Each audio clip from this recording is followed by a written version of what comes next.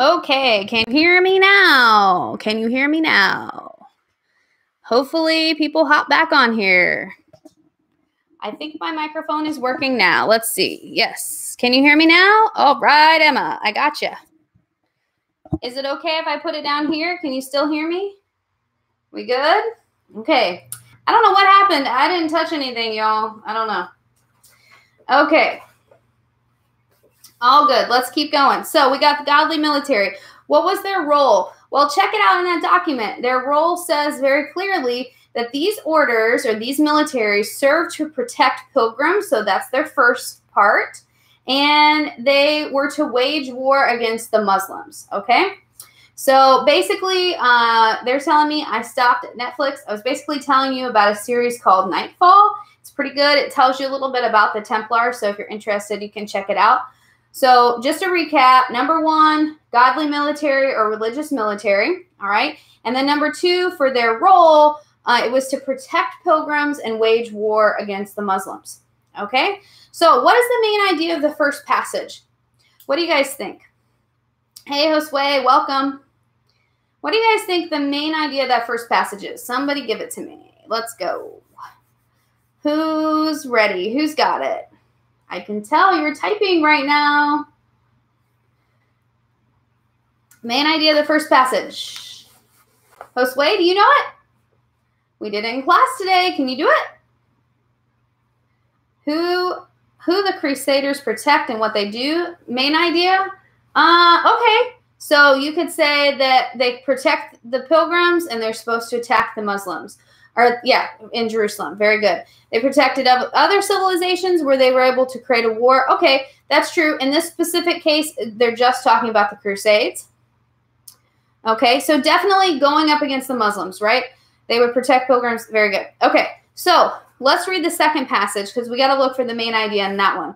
The second passage says, Whenever I visited Jerusalem, I always entered the Al Aqsa Mosque, beside which stood a small mosque which the Franks had converted into a church. The Templars, who were my friends, would evacuate the little adjoining mosque so that I could pray in it. Okay, so this is written by a Muslim historian. What do you think the main idea of this one is? When it talks about the defense, is it the Templars or the Crusaders on the first passage? Okay, so the first passage, the Crusaders are the same as the Templars. Okay, the Crusaders are basically all of those military orders, everyone who's going to get back the Holy Land. Okay?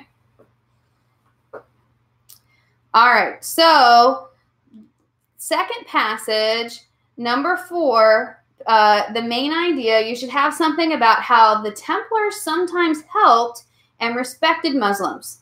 All right, because in that passage, it's talking about the Franks. The Franks are Englishmen, okay? They are from like the German area, like modern day Germany, all right? And they go down to the Crusades, and it talks about how the Templars, as well as the Franks, are helping the Muslims. So that would be your main idea for that. Now, number five is the important part of this. What, how, in what way, actually, in what way do the passages contradict each other? How do they differ? Okay. Contradict just means how are they different from each other? Okay. So, how do they uh, differ? Rami says in the first passage, the Muslims are hated by the people, but in the second passage, the Franks respect the Muslims by letting them pray in the church. The Franks were respectful to them. Very good. And the Franks, also the Templars. Okay. So, it says right here, actually, that the Franks were the ones that had converted into the church, but the Templars are their friends. Okay. So Templars could, well, the Templars weren't on both sides, but in this case, it's saying that the Templars were respectful to the Muslims, right? So um, that's how it contradicts each other. So one passage says they're supposed to wage war against the Muslims, while the other one is saying that they're kind of friendly towards the Muslims. That's the contradiction. Okay. Good job. Let's go on to the next one. All right, the next one is also about the Crusades, and it says what they, meaning the Franks, learned from Arabs was indispensable in their subsequent expansion. The heritage of Greek civilization was transmitted through Arab intermediaries. So basically, what that's saying is that Greek civilization is going to spread into Arabic civilization. All right. Then it's going to become Arabic. In medicine, astronomy, chemistry, geography, mathematics, and architecture, the Franks drew their knowledge from Arabic books. So here's the Franks again, which they assimilated, um, imitated, and then surpassed. So assimilated, remember that kind of means like blended together. Imitated is, of course, copying. Surpassed, going above and beyond that, right? Um, in the realm of industry, the Europeans first learned and then improved upon the processes used by the Arabs in papermaking, leatherworking, textiles, and the distillation of alcohol and sugar. So basically, main idea of this passage is showing that Arabic technology is spreading to whom? Who's it going to? The Europeans, right? Are the Franks the same as the Templars? No. The Templars are like an army of crusaders. The Franks also go on crusades, but they're not a Templar. To be a Templar, you have to go through a special training. Okay? So in this case, this is talking about the Franks or the Europeans that are going down to crusade and try to get the Holy Land back. Okay? And they're kind of working together with the Arabs and they're getting their technology and it's saying that they assimilate it, imitate it, and surpass it. So, main idea, you could put something about how it shows Arab technology is spreading through interregional contact. Okay, interregional means all these regions kind of contacting together because of the Crusades. Yes, Dominique, I'm going to go over the whole review, hopefully, if we can get through it. Okay, so this is going to also affect European culture. Okay. How does it affect it? Well, I mean, it's basically changing it, right? It's giving them the ability to make paper. You might not think that's such a big deal, but when the printing press comes around, it's a huge deal because paper enables things to happen like revolutions and the Protestant Reformation and all these things that we're going to talk about coming up. Paper makes that all happen. Okay, so it's a big deal, this interregional contact. Okay, so who are the Franks? Put down that they are Germanic or a Germanic, sorry, Germanic people. They first invade Rome. Back when the Roman Empire still existed, they invaded Rome. Later, they will establish a powerful kingdom in Western Europe. Okay, uh, you might remember reading about this guy. His name is Charlemagne the Great. This is how you spell it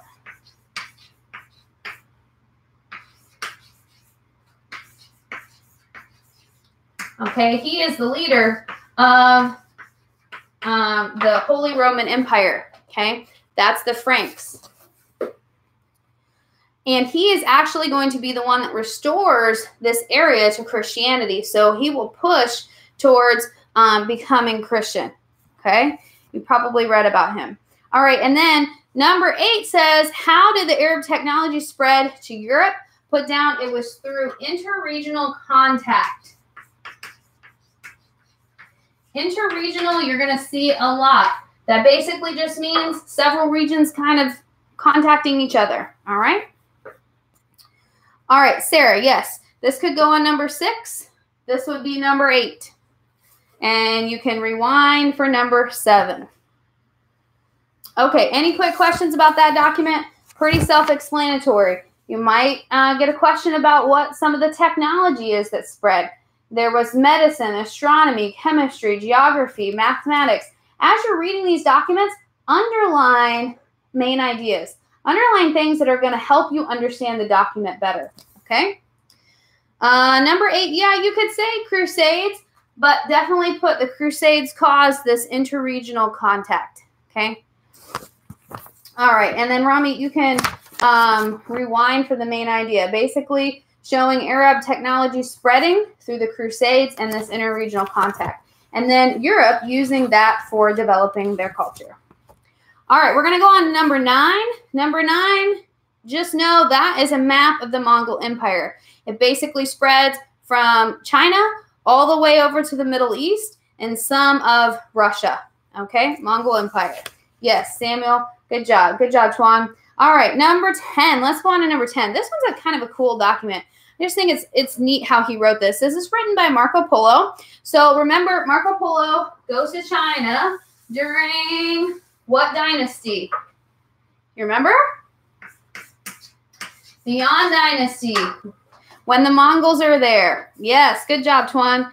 I knew you knew that. Okay, so let's read this. It says Hanzhou, China, and I'm pretty sure I didn't pronounce that right. So my Chinese speaker, correct me if you will. Um, it has 10 principal markets. They are all squares of half a mile to the side, and along their front passes the main street, which is 40 paces in width and runs straight from end to end of the city, crossing many bridges of easy and commodious approach. So, also parallel to this great street, but at the back of the marketplaces, there runs a very large canal. Underline that because we're going to talk about that later. On the bank of which towards the squares are built great houses of stone in which the merchants from India and other foreign parts store their wares to be handy for the markets. In each of the squares is held a market three days in a week, frequented by 40 to 50,000 people. Hangzhou. Okay, very good, Wing Ying. Thank you so much for telling me how to pronounce that. There's a silent G. Who knew? Very cool. Okay, so this one is about a marketplace in China, right? And I told you to underline the very large canal. That is talking about the Grand Canal in China, okay? That's important, and we'll talk about why that's important here in a minute. Um, also, you could underline 40 to 50,000 people are coming through there. Are foreigners coming through? Yes, it says merchants from India and other foreign parts. Okay, so um, what's the main idea? Well, we need to say that this is describing a big trading city. Foreigners are definitely welcome. It's accessible to the Grand Canal. And uh, what does the Grand Canal do? Well, it makes merchant or it makes merchandise accessible because basically they use the Grand Canal for travel, okay, and for bringing in um, goods from all across China. All right, super important because at the time roads aren't very good, so traveling by water is definitely easier. Now remember, a canal is different than a river because a canal is man-made. So a canal doesn't have a current. You'd either have to oar through it or you would sometimes get pulled along with a rope. Like someone would be on the land pulling the the boat through. All right.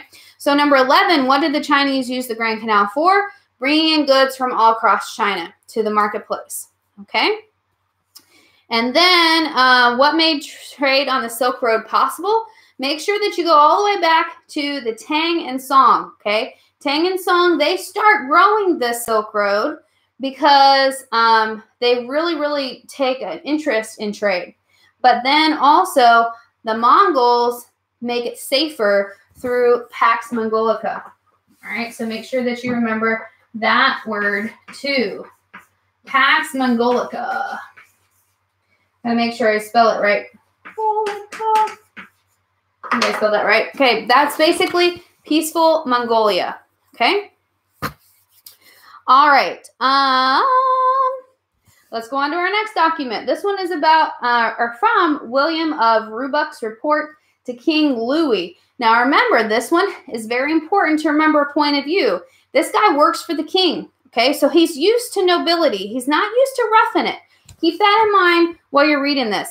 It says, It is the duty of the Mongol women to drive the carts, to load the houses onto them, and to unload them, to milk the cows, to make the butter and kumis, to dress the skins, and to sew them.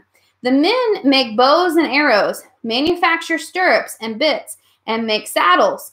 They build the houses and carts. They look after the horses and milk the mares. Both sexes look after the sheep and goats. And sometimes the men, sometimes the women milk them. Okay? So basically, what is the main idea of this document? Well, it's showing that the Mon very good, Samuel, is showing that the Mongols are treated pretty much equally. The women do a lot of the hard labor right alongside of the men. I mean, picking up and loading the houses, not super easy job. That's definitely different than what this guy is used to because remember, this guy is familiar with nobility. So he's used to women sitting on a couch all day fanning themselves, right? Not really doing a lot of labor. So put down that uh, it shows duties according to the genders within the Mongol clans, and that women are pretty much equal. They do some of the hard labor alongside the men. Now, the next question is How do you think the author feels about this division of labor? Now, he doesn't come right out and say it, so you kind of have to infer this from the fact of his point of view, right? Now, because he's around nobles a lot, does he seem kind of impressed with this or is he disgusted with this? What do you guys think? What's some votes? Is he like saying, yeah, this is really good? Like, I'm shocked? Or, hmm, this is disgusting. I don't think they should be doing this. Neha says, impressed. How many agree? Tuan, yeah, he definitely probably thinks it's weird. He definitely probably thinks he's surprised. Yep. Impressed, disgusted, uncomfortable. He could be a little uncomfortable. I would say there's probably more evidence in this to show that he's impressed because if he were disgusted by it, he would probably put that in there and he would tell the king, hey, this is really awful. I don't think women should be doing this, right? But um, I think this shows a little bit more of impressed and surprised because he's really putting in a lot of details about what the women are doing. Okay. So I would definitely go with surprised or impressed on that um, because of how smoothly these roles play out. I mean, I think he's a little bit shocked about the fact that the women are even doing this. Okay, then um, describe how Mongol women are treated in comparison to other societies. We kind of talked about this a little bit before when we were doing the Mongol trial. So you guys should be able to get this one. Mongol women treated more equally than other societies, right? They have more duties and they have more respect. Okay, let's go on to number 16. I'm going to get a drink water just a second. I wish you guys could talk too because my throat gets really dry. Okay, let's go on to the next one. The next one is about the Mongols in China, and it says, okay, so our two questions that we're trying to do with this one before we read the document, we're looking for things that stay the same and we're looking for differences. So what I want you to do is underline the things that stay the same and circle the things that are differences. Okay? So it says the Mongols made use of Chinese administrative practices, techniques of taxation, and their postal system. What does that mean? Did it stay the same or was it different? Thumbs up for staying the same, thumbs down for different. Definitely thumbs up. That means that they kept it the same. Okay? They gave, so that should be, did I tell you to underline that? I think I told you to underline that. If it stays the same, underline it. Thumbs middle for I don't know. yeah, okay. So they made use of it. That means it stays the same. Okay, so definitely underline that. They gave themselves a Chinese dynastic title, the Yan, suggesting a new beginning in Chinese history. They transferred their capital from Karakorum in Mongolia to what is now Beijing, building a wholly new capital city. So that's a difference, right? So thumbs down and circle that. That's a difference. Okay, uh, in social life, the Mongols forbade intermarriage. That means they would not allow it. So Mongols and Chinese could not marry. And they prohibited Chinese scholars from learning Mongol script. Okay, Mongol women never adopted foot binding and scandalized the Chinese by mixing with men at official gatherings and riding to the hunt with their husbands. That last part about scandalize the Chinese by mixing freely, that would be a difference, right? And the Mongol women also ride to the hunt with their husbands. So, what are the things that stay the same? You'd put down administrative practices, taxes, postal system. All those things stay the same. Differences no intermarriage, scholars can't learn the Mongol script, and the capital changes. Okay, you can also put down that Mongol women freely mix with men. All of those things would be different. Now, of course, you could probably argue that it's not super different because the Mongols weren't there before, but it definitely is a change for the Chinese because the Chinese are not used to women and men mixing. They're just not, they're not down with it. Okay, so the next one we're looking for the main idea differences between what and what. Okay, so now The differences are between when the Mongols came, like what did they change about China? What did they keep the same? Hi, Annie. Good to see you. You might want to rewind. And also, I've got a first part that kind of cut off. I'll put that up here um, after I'm done. Yuan. Huh, really? Okay. I am learning so much from you, kiddo. Okay, Yuan Dynasty. I'm going to be a professional Chinese speaker by the time this is all done. Okay, Peter Smith, don't be creepy. I mean, come on. Okay, let's uh let's go on. Okay, so we're going to look at this uh, Ways of the World, this next document. Okay. okay, so here we go. Beyond the human catastrophe lay the damage to Persian and Iraqi uh, agriculture to those who tilled the soil. So we know we're talking about Persia and we're talking about Iraq and we're talking about agriculture, right? Heavy taxes, sometimes collected 20 or 30 times a year, and often under, under torture or whipping, pushed large numbers of peasants off of their land. Furthermore, the in-migration of nomadic Mongols, together with their immense herds of sheep and goats, turned much agricultural land into pastures and sometimes into deserts. Okay, so we know that this is about the in-migration of nomadic Mongols. Okay, this is when the Mongols are coming in and taking over Persia and Iraq after they've defeated the Caliph.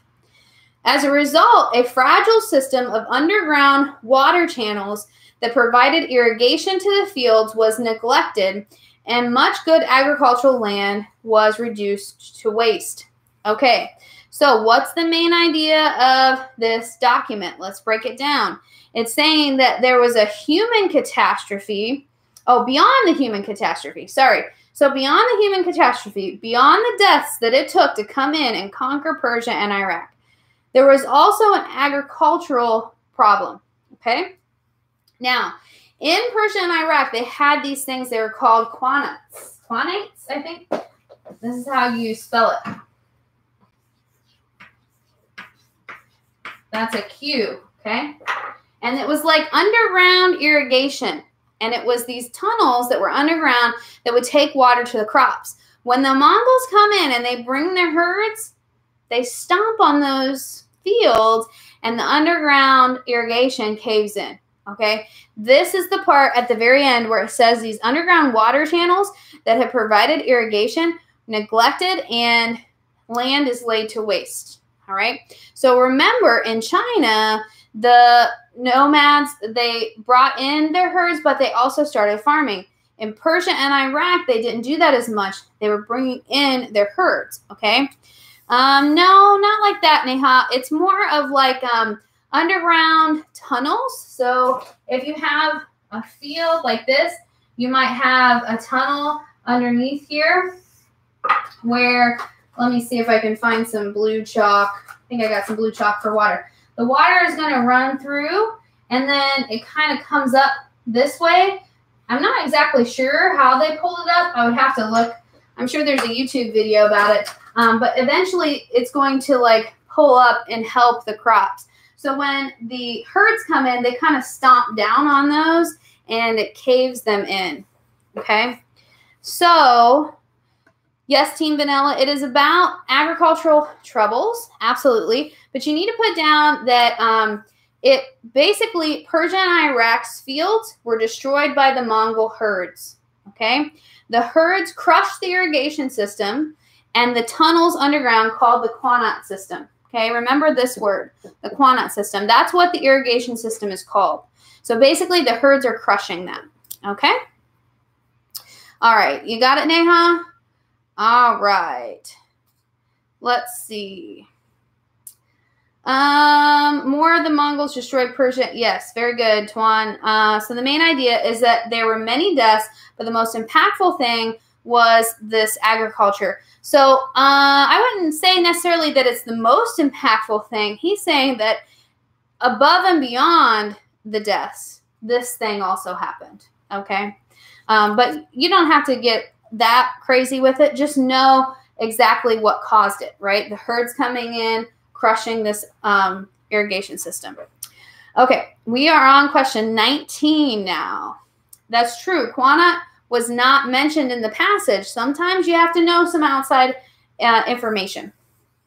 Okay, so we're going on to number 19, and this one is about uh, Mansa Musa, and we need to know the uh, main idea of the passage. So it says, From the beginning of my coming to stay in Egypt, I heard talk of the arrival of this Mansa Musa on his pilgrimage and found people eager to recount what they had seen of his spending.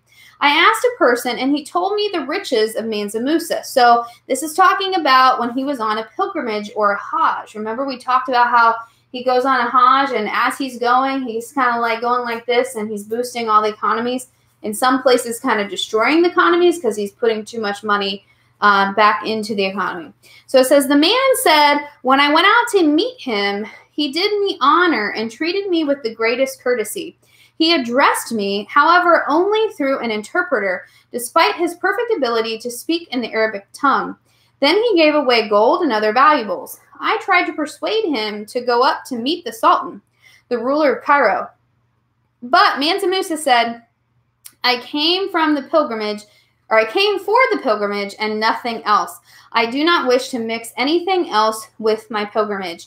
So basically, main idea here is that Mansa Musa is going on Hajj or pilgrimage, and he is spending a lot of money. He's definitely showing a lot of wealth. But what's his purpose? His only purpose is to go on this Hajj. It's not really to meet with any, you know, upper leaders or any other kings. He's just going on this pilgrimage. And then how did he acquire his wealth? This isn't said in the passage. This is outside information that you need to know. Remember, we talked about how Mali was situated on the trans-Saharan trade route, and so that enables him to acquire wealth. Okay. Mansa Ma-? Really? Hmm. That's interesting. Well, I have a friend named Musa, so I just assumed that it was Musa, but Mausa. Okay, thank you, Neha. I appreciate that. Y'all are just helping me with my pronunciation. I, I appreciate it because uh, that's one thing that I am not great at. Uh, Tuan says he prefers Musa. Well, you know, if Tuan says Musa, then I don't know. but Mousa, is it Mousa? Mousa or Mosa? Mosa. Like mowing the yard? Mosa? I don't know. Okay. Uh, gold salt trade. Yes, that's right, David. Yes, Rami, that is right. Okay. Uh, so 20 would be that he, the trade route, um, I'm sorry, Mali is located on the Trans Saharan trade route. That is how he gets his money. Timbuktu is the city. Okay. Oh, like moose. Now, yeah, that's how I'm saying it, Tuan, but she's saying it's like Mausa. Mausa. Okay. Oops, I skipped one. All right, let's go on. Okay. Ooh, this one's good. This one is a comparison between Ibn Battuta and Marco Polo. So the question you're looking for is describe the differences of the two travelers. Yes, Henry. He is the ruler of Mali. Tuan Polo. I won that game. Okay, so here we go. It says Ibn Battuta traveled primarily in Muslim ruled lands, the Dar al Islam, while the Christian Polo, son of European merchant, lived and worked in countries whose cultures and religions were foreign to him. Hmm, what are we looking for? The differences of the two travelers. I would underline that first sentence and then be able to explain it. What's the difference? Well, Ibn Battuta traveled in Muslim ruled lands. He is also Muslim. Okay? And the Christian Marco Polo, he um, went to countries that the religions were foreign to him. Okay. This difference, ah, here we go, makes a comparison of their works most interesting. So the author's already telling us that that's a difference. Marco Polo's knowledge of four Asian languages as well as Italian allowed him to communicate with foreigners and even work as an administrator for the Chinese emperor. Yet, in all his travels, he remained culturally an outsider to the people he met and this fact enhanced his power of observation and stimulated natural curiosity. So, underlying that, Marco Polo is an outsider. By contrast, that's your key to hey, here the difference is coming. Ibn Battuta usually traveled as an insider, and his host accepted him as a respected, uh, respected Muslim jurist and student of Islam. Okay, so here you go. Real important. Okay, you need to put down the differences and the similarities. Okay, so I'm sorry. Yeah, the differences of the two travelers, no similarities. So number 21, differences of the two travelers. Ibn Battuta is traveling as an insider. That means he's staying with people that are mostly like him. Okay, they would have the same point of view. Marco Polo is traveling as an outsider to Asian civilizations. Okay? So, does that make sense to everybody? Of course, it's going to be a little bit different. Marco Polo is going to be writing from an outsider's point of view, whereas Ibn Battuta is going to be writing from more of an insider's point of view. Um, that one was from, I don't remember. That one might be from the AMSCO. It doesn't say, does it? I'm not sure where that is. Okay, here we go. Number, oh, 22. Um, so why was it safer to travel through Asia when Marco Polo traveled through versus if he would have went at another time? Okay, so when did Marco Polo travel? That's important to know, right? Basically, it would have been when the Mongols were under control. So you're going to write down the Pax Mongolica. The Mongols were making the Silk Road safer, and this enables Marco Polo to travel through at that time. Very good, Peter. Yes, you got it. Pax Mongolia. Okay. Uh, yeah, it might be in the new one. I'm not sure. Uh, did Marco Polo travel by himself? No, he had several other people with him, uh, several assistants, and uh, it was kind of like a caravan. And his diary is quite intense. I mean, he kept a really good journal. He actually ended up writing a book, and a lot of people thought that it was a lie for a long time, but I think it's really good. Uh, let's see. Would there be another other similarities other than them being explorers and travelers? Well, this one's not asking for the similarities. Remember, it's just asking for the differences. Okay, definitely there are some similarities, um, but it's not asking for that in this passage, so you don't have to worry about it. Um, yes, you are right about the AMSCO textbook. But you know, you can take it to like Kinko's and get the spine cut off and they can uh, coil it. I've done that to a couple of mine. Okay. Ah, eBay for $10 next year, huh? yeah. I'll buy it from you for $10, maybe for my kids next year. I don't know. Check with me at the end of the year. Okay, now the next one is about this chart. Okay, this chart is comparing Silk Road, Indian Ocean, Trans-Saharan trade route. This one should be pretty easy. You're looking for differences between the trade routes. Start giving me some. What are some differences that you see? I want to make you guys do some work. While I take a drink of my water here. What are some differences? Things traded. Yes, there are some differences in things traded. There are also some similarities in the things traded. So primarily Silk Roads would be luxury items. Um, Indian Ocean would be things that are a little bit heavier, right? Because it's on water. So um, things that are easier to, to trade on water. We've got uh, slaves in the Trans-Saharan. They're primarily traded there. Uh, definitely, let's see the things they traded. The ideas are different. Religion. What's different about religion? Give me some um give me some uh specific examples.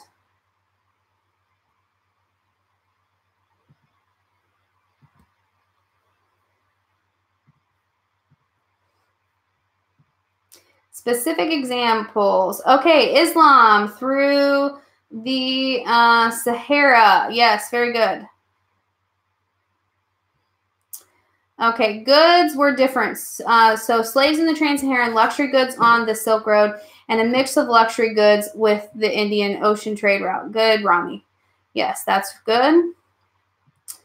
Uh, what else? We got Buddhism and Islam. Tuan, where were Buddhism and Islam mostly spread? Let's see. Let's see if we can look. Uh, Southeast. Okay, good. So Buddhism didn't go in the um, in the Saharan. That's good.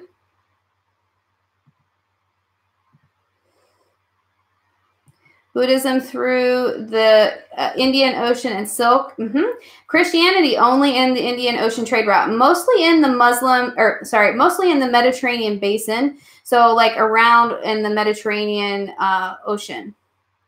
Very good.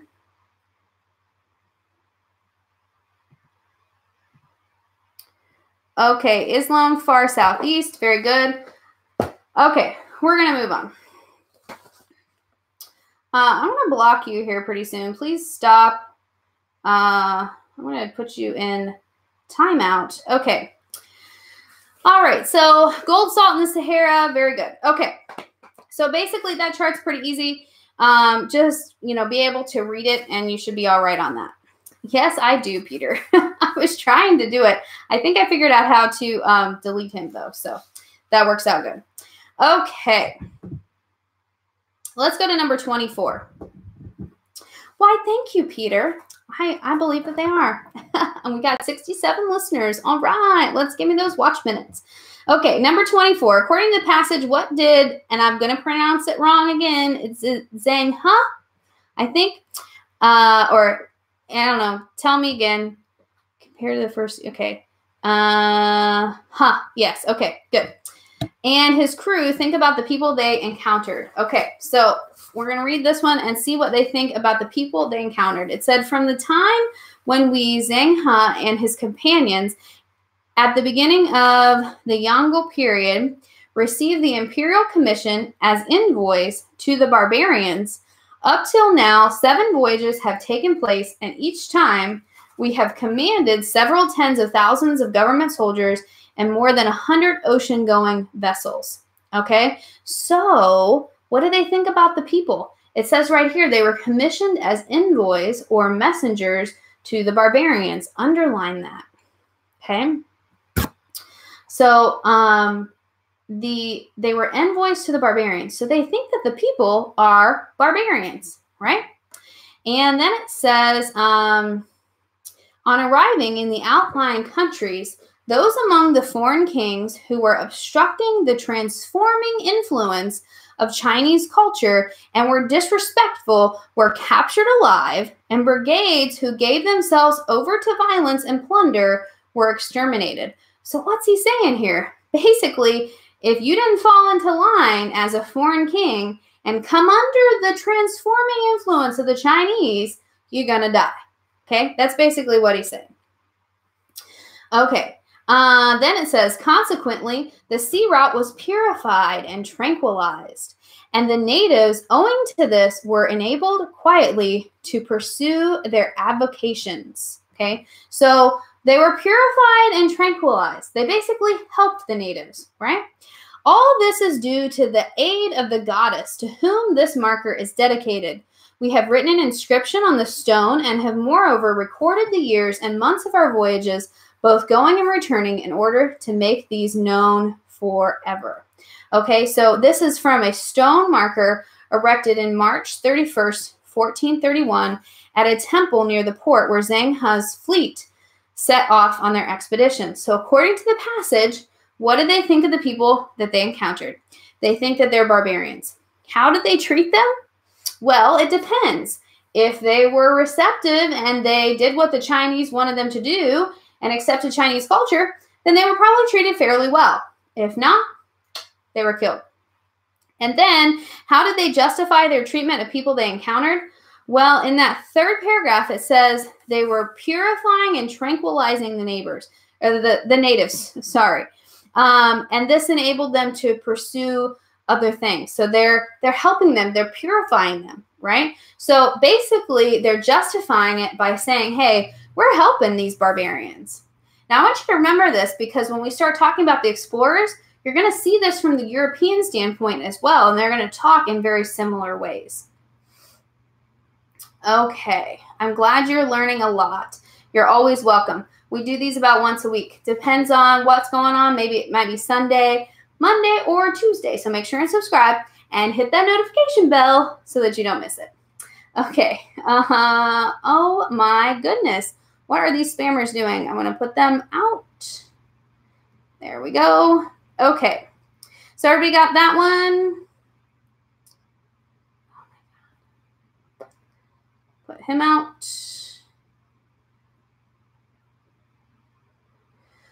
Okay. Sarah was here. Um, okay. Lady Nadia, I like you. Stop, fool. Very good. Okay. So yes, I did block them, David. I just had to figure out how to do it. I never I never had to do it before. Okay, so 26 again, they're basically justifying their treatment by saying, hey, we are helping the natives, we're purifying them. In that third paragraph is where he talks about purifying and tranquilizing them. Okay, who knows where they came from? People are crazy. Okay, um, they believe they were helping the societies. Thank you, Henry. Okay, let's go on. We're almost done. We're almost there, guys. Let's go. All right, 27. What is the historical context of the document? Okay, historical context is something you're going to see a lot this year as soon as we start talking about DBQs. Historical context basically means what is going on at the same time that this document is written that affects how the document is written. Okay, so this is going on in 1520. We haven't talked a lot about that specific date. So it might be a little bit of challenge, or it might be a little bit of a challenge to figure out this historical context, but let's try. So it says, In the tank, I saw so many people at work that there must have been 15 or 20,000 men looking like ants, so that you could not see the ground on which they walked. So many there were, this tank the king portioned out against his captain captains each of whom had the duty of seeing that the people placed under him did their work and that the tank was finished and brought to completion. Okay, so they're clearly building something here, right? Um, what do you think they might be building? Something to do with water. They call it a tank, right? So I would say that the historical context is this is describing a large building project, okay? Now, we haven't talked in depth about the Black Death yet, but you do know that it happens because it spreads on the Silk Road. And we talked about how the Black Death kills one third of Europeans and a lot of other people around the world. So after it kills all those people, there's a huge labor shortage. Okay? But the problem is now we've had all this like interregional contact, so people want products, people want goods. And so this pushes the the supply or the demand, sorry. This pushes the demand for products higher, and therefore we need more laborers. Okay? So for this, you're going to put down that um, this is describing a large building project. Good, Peter. Labor gets expensive because of the shortage. Very good. Okay. I would think that this is some kind of like water facility, kind of like a reservoir. Okay. Um, and then you're going to write down that after the Black Death, demand for laborers and products increases. Because of that, large infrastructure product uh, projects also increase because we need a way to get these products to market, right? So we need more canals. We need more water reservoirs. We need more military defenses. We need more roads. Okay, so labor increases and the need for building stuff also increases. These aren't slaves here in this passage, but it kind of made it sound a little bit like that. When I looked up the whole package or the whole passage, it's not talking about slaves here, but they did use slaves for some labor. Yes, that's true. Okay. Uh, why am I watching this while doing my I don't know why you're watching it while doing your poem annotations. You definitely should do those separately. It's going to be hard to do them together. Okay. Uh, we are now on question 28, and it's about the image. So flip over to that one. This one is an image. The point of the water tank uh, was a water reservoir to hold water for that area. Ooh, got fuzzy there for a minute. Sorry. Um, after the Black Death, so Rana, is it Raina? Raina says, um, were they poorly paid? After the Black Death, they're actually going to be able to um, uh, demand more money because there were fewer of them. So feudalism kind of comes to an end because of the Black Death and because they can demand more. Yes, Neha, kind of like a dam. Yes. Okay, Annie, wait a minute. How is the need of building connected with the test? Well, you're going to have a question about that document. That's how it's connected. So you may need to know that that's what the document's about. All right, let's go on.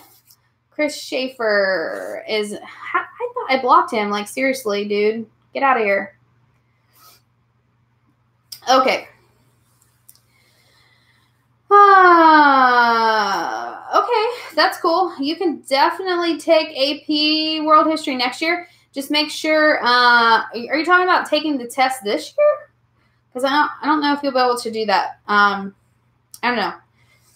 Give me some more details about that. All right, number 28. What system does the above image reference? What are the Uyghur nomads doing in this picture, and why are they doing it? Okay, so the system that it represents is the tribute system.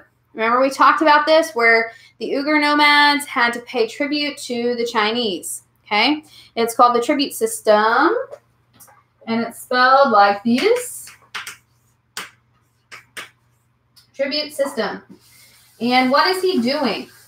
You can see in the picture that he is bowing down to the general. He's probably giving the general gift. You can see in the bottom of that picture, there's like a little vase looking thing. All right, so basically he's paying tribute. Now, the bowing down has a special name, and that special name is kowtow. Okay, get that down. He is kowtowing to show respect through the tribute system. Okay, kowtowing basically, it see that back nomad all the way in the back. He's got his hands completely on the ground. Kowtowing is getting as low as you possibly can in order to show respect. Okay. Blend fix. I'm not sure about that question. I don't know. Okay. Uh, so your next question is when did the Mongols take over China? They're going to start their conquest in 1205. Yuan dynasty, I'm sorry, uh, Yuan, Yuan dynasty is going to start in 1279. Okay. So remember that date range, all right? 1200s is when they're going to start like their conquest of um, of China. The nomads are the ones that are bowing down in the picture. Okay, the Chinese guy would be the one standing up. Okay, number 30. After the Mongols took over China and formed the Yuan dynasty, what happens to this system? Well, because the Mongols are nomads as well, they're going to get rid of this system. They no longer need it. So put down this system, no longer needed. Okay. All right, let's go on. Ooh, we're almost done. Number 31. So it's asking, what is the historical context uh, in regards to these metal coins? Okay, so what you need to know about the metal coins is that metal coins didn't always exist. Okay, there were different forms of, of, of currency before metal coins, such as bartering. All right, bartering just simply means I have something you want, you have something I want, so we trade. Okay, bartering. Now they also use different things for currency. An example is called a cowrie shell. These are kind of like little seashells. They also used tin ingots. Okay, little pieces of tin. Okay, so there were different things um, that they would use for currency. So historical context of this would be switching from other forms of currency to metal coins. And the metal coins are what you see pictured in that um, document up there. Make sure you get down that these are the other forms of possible currency bartering, cowrie shells, and tin ingots. Now, depends on what region you're in. You might use something else as well if one of these is not available. Okay, we got another Ibn Battuta document. And this one says the entire population of the city joined the Exodus, male and female, small and large, the, Jew, the Jews went out with their book of the law, and the Christians with their gospel, their women and children with them, the whole concourse of them in tears and humble supplications, imploring the favor of God through his books and his prophets. Okay? Uh, yeah, Wanging, you can also put down flying cash. Very good. That comes from the AMSCO book. I can tell you're doing your reading. All right, girl. All right. Okay. So this one is important because when I first read this, I thought that the Muslims were kicking the Jews and the Christians out. But that is not the case. If you look at number 32, that tells you the historical context. And it says the historical context of this document is that Ibn Battuta was witnessing an exodus of people out of Damascus as a result of the outbreak, out the outbreak of the plague or the Black Death. Okay, so they hoped that by leaving it would lower the death toll. Toll, sorry. So they're leaving Damascus, okay, because they're trying to get away from the plague. So, what is the point of view of this document? Remember, for point of view, you have to say who the author is, what do they believe, and why do they believe it. So, you would say something like Ibn Battuta is Muslim. He believes in religious tolerance and respect for Christians and Jews because of his religion. So, his religion is giving him that belief of tolerance. That's his point of view.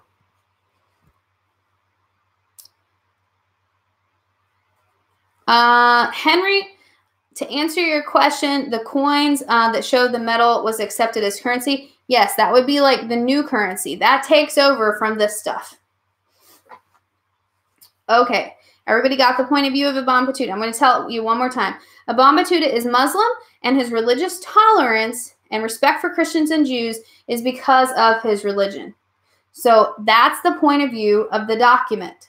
Okay, that's the point of view of Ibn Battuta, the writer. Okay, that's what the question is asking you. What is the point of view of this document written from? Okay, it might not be worded very good, Neha, but that's what it means. Like, what is his point of view as the author? His point of view is that he has religious tolerance because he's a Muslim. Okay, make sure that you get that last part though, that because he's a Muslim, not just that he has religious tolerance, the reason that he has it is because of his religion. All right, what does this show about Islam as a religion? It shows that they are tolerant of other religions. Okay. We good to go with that one? I'm like super thirsty tonight. I don't know why. Okay. So let's go on to number 34. Ah, you'll have to rewind it, Nadia. Lady Nadia. Lady Nadia. Just rewind it. You can go back, I think. I'm pretty sure you can do that. Anyway, okay. Uh, so number 34 asks, what is the Hagia Sophia? So we knew not whether we were in heaven or earth. For on earth there is no such splendor or such beauty, and we are at loss for how to describe it. We know only that God dwells there among men, and their service is fairer than the ceremonies of other nations. For we cannot forget that beauty. So this is by a Rus advisor for Prince Vladimir describing the Hagia Sophia. All right, so what is the Hagia Sophia? The Hagia Sophia is a church that was once Christian and then turns into a mosque. This is what it looks like right here. Okay. Um, when it was just a church, it didn't have these spires. That was built later when it was turned into a mosque. So originally, this dome area was the original church. So put down that it's first a Christian church and then it is turned into a mosque. What is the Hagia Sophia's architecture inspired by? Roman arches and domes. Okay, so this church is definitely inspired by Rome. It shows that the Roman architecture is continuing. Okay. Um, and then it says originally Hagia Sophia was constructed for what religion? It was originally Christian and it is now Muslim today. Now, this last part says, uh, number 37, why do the Russians convert to Orthodox Christianity? This happens because Prince Vladimir is making a um, peace treaty with the Byzantium Empire or the Byzantine Empire. Okay. And basically, he agrees to marry one of their princesses as a part of the treaty. Their princess happens to be an Orthodox Christian. And so, as a part of the treaty, he has to convert. So, he agrees to converting and then he orders the rest of Kiev Rus to convert as well. So write down that um, Vladimir, the Prince of Russia, marries a Christian princess, and he orders the rest of Kiev to convert as well. Okay, Uh, difference between Muslim and Islamic. Islamic is the religion. Muslim is or are the people. Okay, is this our last? Oh, it's our last document. this is so exciting. So exciting. Um, that will give you guys plenty of time to review this so that you're ready for the test tomorrow. Okay, so we're looking for the main idea of this speech. It says, This royal city, therefore situated at the center of the world, is now held captive by those who do not know God. She, or Jerusalem, seeks therefore and desires to be liberated, and does not cease to implore you to come to her aid. Accordingly, undertake this journey for the remission of your sins and the assurance of the imperishable glory of the kingdom of heaven. This is Pope Urban II, a sermon given in a field outside the cathedral in Clermont after the church council in 1095. So, main idea of this speech. Okay, basically, he's trying to get people to sign up to go and fight in the Holy Land. And if you go and fight, what's going to happen? Well, you guessed it, your sins will be forgiven. Okay, and the part that he talks about, um, Jerusalem seeks and desires to be liberated. That means they want to be free. And they implore you to come to the, their aid. They want you so badly to come to their aid. And if you undertake this journey, you will get remission of sins. That means forgiveness of your sins. Yes, this would be a call, Henry, to go on the Holy Crusades. That's what this is. Okay. Uh, and then very last question 39. What was Pope Urban II trying to accomplish by giving his speech? Basically, he's trying to get people to go and fight in order to recapture Jerusalem from the Muslims. okay, so I think that's it. One last thing before I let you guys go. Tomorrow, when you're taking the test. Slow down. Make sure you read the questions. There's always that one answer that's a distractor. It's made to look like the real answer, but it is not the real answer. Don't guess that one. Okay. Make sure you're really looking at these closely. All right. Make sure you're remembering the wording that we talked about in the documents, the main ideas. Okay. That's super important. If you have time tonight, put some of this stuff on flashcards and um, then you can review the flashcards on your way to school tomorrow. Okay. And last but not least, on Sunday, mark your calendars. Sunday at 7, I'll be doing a review of the LEQ rubric because on Monday we're going to start writing one. Okay. So that will give you guys a little bit of a heads up about what is coming. All right, guys. Good luck on that test. Stop by. Let me know how you did when you get them back and try not to stress out. Just take deep breaths.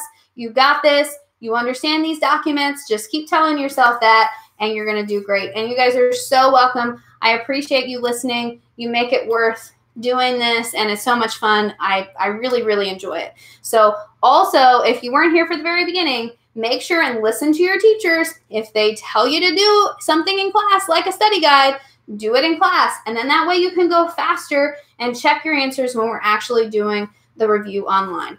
All right, guys, I am heading out of here. I will see you tomorrow. Make sure and stop by and let me know how you did. Have a good night. Bye.